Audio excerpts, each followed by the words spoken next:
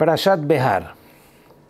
O início desta Parashá trata sobre a mitzvah de Shemitah e este ano 5882 é um ano sabático que em, em princípio é uma mitzvah exclusiva da terra de Eretz Israel, na parte agrícola da terra de Eretz Israel, que tem que descansar. Eh?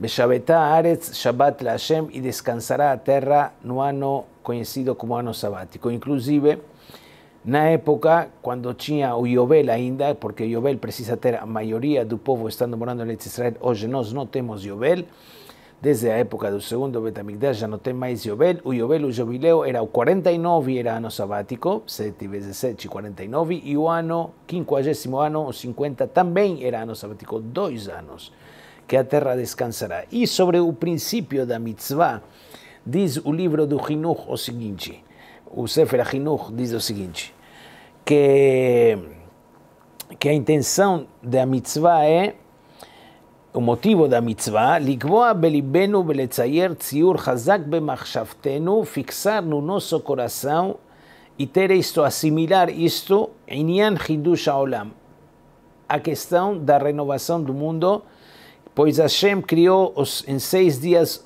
o céu e a terra, e no sétimo não criou absolutamente nada. Certo? O sétimo é dia de descanso, e por isso Hashem ordenou fazer hefker entre as arachot, se entra nas arachot de Shemitah, fazer hefker tudo o que produz a terra neste ano, para descansar, para lembrar que quando a terra produz seus frutos cada ano e ano, não é por causa da terra e do trabalho da pessoa, sino que tem um patrão e tem um dono sobre a terra, e assim Hashem, este patrão, ordena, vejam bem, era impressionante, principalmente antigamente, quando a cultura de, da economia estava baseada na agricultura, principalmente, então a pessoa, você chega para uma pessoa e dizer: pare um ano de arar, semear, pare um ano de trabalhar seu campo, deixe suas árvores abertas e efquer, cada um que quiser pega sua fruta, pode usar apenas o seu uso, consumo, não pode comercializar as frutas, e etc. E um monte de arajot que tem sobre arajot Shemitah. Inclusive, eu, como Bahur Yeshiva, há mais de 30 anos atrás, sim, eu estava em Israel e me tocou estar um ano de Shemitah e a gente não tinha nem sequer, durante um ano, a gente não viu um tomate. A gente não comeu. E mesmo hoje está muito melhor, porque fazem importação de verduras e frutas e trabalham de... Bom, não importa, agora se entrar em detalhes, está muito mais organizado. Mesmo assim, é uma mitzvah difícil. Imaginem, então, antigamente, que não tinha todo esse esquema, essa globalização, que não tinha é parar um ano de trabalhar é para a pessoa dizer, olha, você é, abra é, é, é, suicídio diretamente, como, como você, como a, Torá exige, exigiu isto e dizer você vai ter berachad no sexto ano, para o sétimo ano também, para até crescer no oitavo, e como diz os próprios versículos aqui na Prashá. E por isso diz o Hinuch, Shiosif a Adam bitachon beshem itbarach, apenas para frisar a questão que Hashem é o dono da terra e acrescentar o bitachon e a fé na Kadosh Baruch Hu, certo? Porque aquela pessoa que tem o poder e a força de fazer hefker, abrir mão de seus, seus, seus produtos agrícolas do ano sabático, ele mais do que está mostrando que ele única, depende única e exclusivamente da Kadosh Baruch Hu certo? E isto é o que Hashem queria com seu querido povo, justamente ensinar a cada sete anos, olha, você larga tudo e você vai para o Beta Midrash. Fique confiando na Kadosh Baruch Hu, que você vai passar esse ano e vai ter sustento você e sua família. Podemos acrescentar o que diz o Kliakar. Vejam o que diz o Kliakar, um dos comentaristas da Torá sobre esta mitzvah, e diz o seguinte que Hashash Akadosh Hashem te, te, tinha a seguinte eh, Hashash, quer dizer suspeita, que talvez quando o povo vai vir para a terra de Eretz Israel e todo mundo vai começar a trabalhar a seu campo, que será o trabalho normal, agrícola, eh, e vão se esforçar e quando vão ter sucesso no trabalho e importar e exportar as frutas e todos os produtos agrícolas, Hashem, vão esquecer Hashem. Viasiru Bithomnan. E vão tirar a segurança deles em Hashem e a fé. E vão dizer que Kohan Beotzem Yadam Asalaem Etahailazé. Olha, eu semei na hora certa, o grão certo, no momento certo. E a gente te, colocamos essa técnica na hora da semeação, na hora da colheita e, e conseguimos e fizemos e negociamos. Por isso, por eso Hashem tiró eris da natureza normal, que normalmente se fazia nos campos antigamente. Normalmente, antigamente que no tinha todos esses produtos agrícolas que incentivavam o crescimento das frutas para tirar, que eles faziam? Trabalhavam dois anos a terra e o terceiro deixavam ele descansando, para não enfraquecer a terra. Assim a pessoa fazia com sua, sua fazenda, seu campo. A Kodesh Baruch diz ao contrário, seis anos seguidos você vai trabalhar a terra, ano a ano. E saiba que no sexto, que último, que a priori a terra está mais fraca, não somente que não vai enfraquecer, sino que te vai dar fruto para o próximo ano, sétimo, que você vai descansar. Certo? E este é um NES dentro de um NES, ou seja, não somente que você vai trabalhar os seis anos seguidos sem descansar a terra e dar o poder de que ele se, se recupere, sino você vai trabalhar seis anos e no sexto ano vai ter a produção. E através de todos esses milagres, você vai saber que li aretz, diz Hashem, que a mim me pertence a terra, e assim você cada ano, quando você vai semear durante esses seis anos, não vai pensar que é você que está fazendo, que é seu raciocínio, que é seu investimento, que é sua ideia. Não. Vai confiar e olhar e observar a Kadosh Baruch E este é o, a essência da mitzvah, do motivo da mitzvah da Shemitah.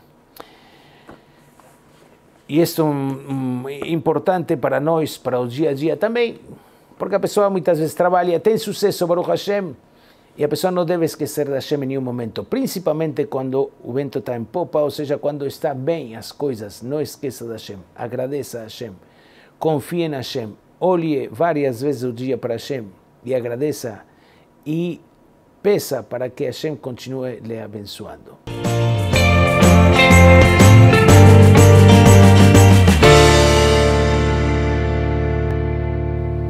Muito bom. Agora vamos passar para outra parte da Perashá. Na continuação, a Perashá, no capítulo 25, versículo 35, a Torá fala sobre a mitzvah de apoiar o seu irmão quando ele está em situação negativa financeiramente. A Torá diz no capítulo 25, versículo 35, diz o seguinte: Vigiamuch achija. E quando seu irmão vai ficar, Yamuch, Yamuch quer dizer que vai ficar pobre, vai ficar extremamente humilde e não vai ter dinheiro, vai quebrar. Umata Yadoimach. E ele vai estender sua mão em direção a você bo, e você vai להחזיק אותו.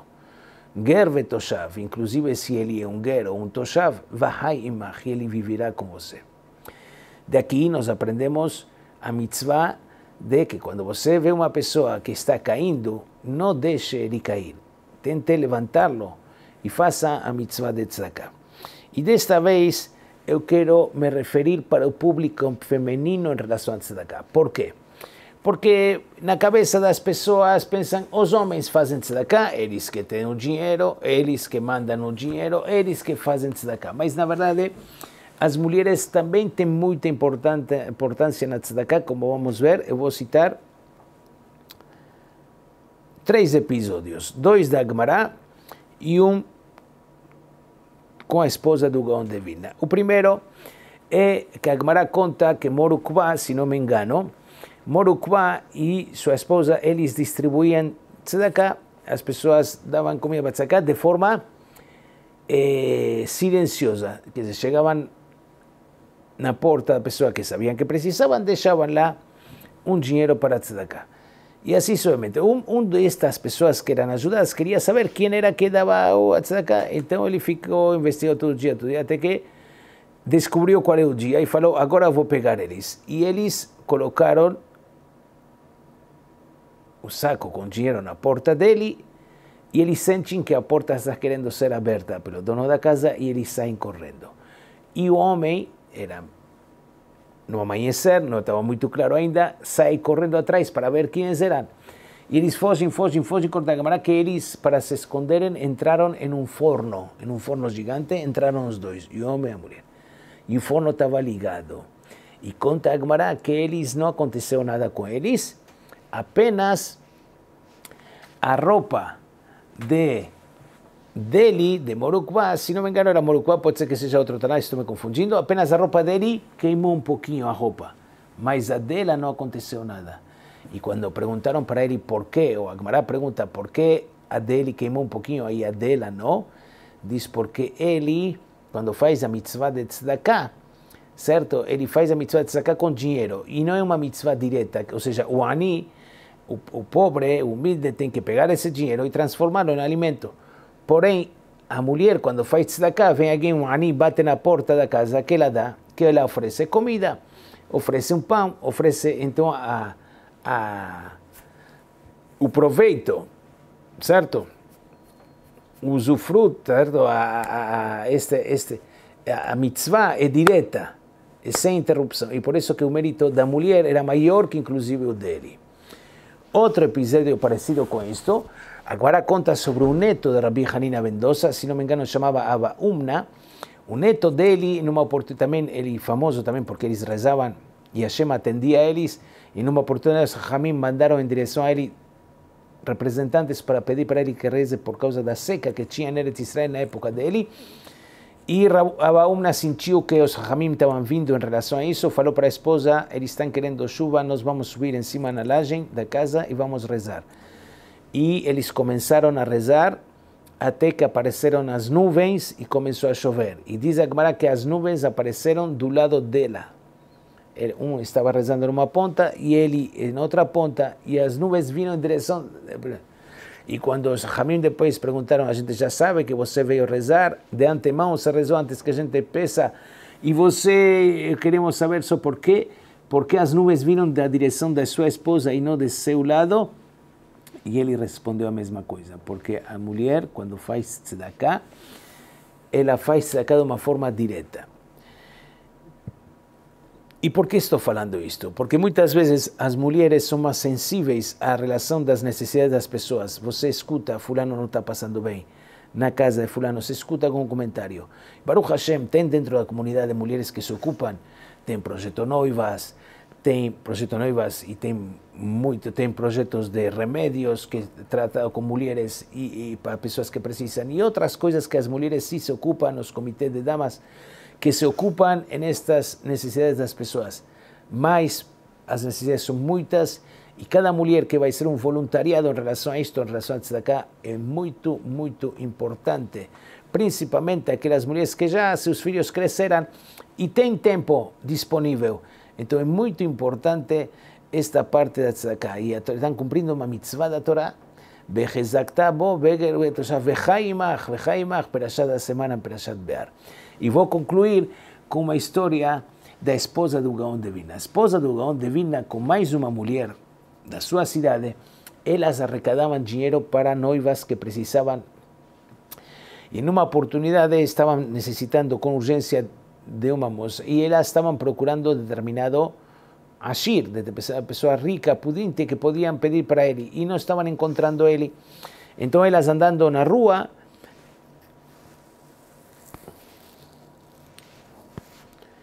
Estou contando o fim da história, depois vou contar o começo. Então, andando na rua, uma levantou o braço e disse: Olha, apontou, está lá. E assim elas foram e pegaram dinheiro.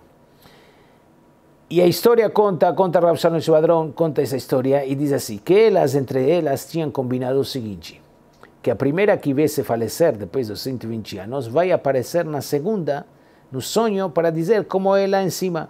Esposa do Gaon devina com outra, com a amiga dela. E uma das duas faleceu, ou não sei precisar qual que faleceu primeiro, e veio no sonho no meio do Shiva para outra, e diz para ela o seguinte: saiba que todo minucioso aqui no Shamaim, Eu não posso contar, apenas vou contar uma coisa que me deram licença. Se lembra aquela vez que a gente estava procurando uma determinada pessoa para pedir dinheiro para um casamento de uma órfã, etc. E se lembra que eu apontei o braço? Então saiba que a mitzvah de tzedakah está contabilizada para as duas. Mas esta que levantou o braço e apontou e fez uma coisa a mais em relação à mitzvah, tem diferença nessa recompensa e também é recompensada por isso também, de uma forma diferenciada. Então nós estamos vendo quanto importante é principalmente o público feminino, tem muitas mulheres na comunidade que trabalham e se esforçam e, e claro que o mérito delas é muito grande, mas nós precisamos mais pessoas mais gente se ocupando, tem vários pontos e vários lugares e várias situações que talvez não precisa mais gente para saber da dificuldade das pessoas, para sentir as pessoas, para as pessoas e fazerem diferentes formas de ajuda para o público e a comunidade de forma geral. Aqui, sim, eu estou falando daqui, mas existem em todos os lugares do mundo, existe Baruch Hashem, Am Israel, Ashrem Israel, que se tem todos esses tipos de projetos, mas é uma boa é uma boa dica da Prashá para refletir sobre o assunto. Shabbat Shalom.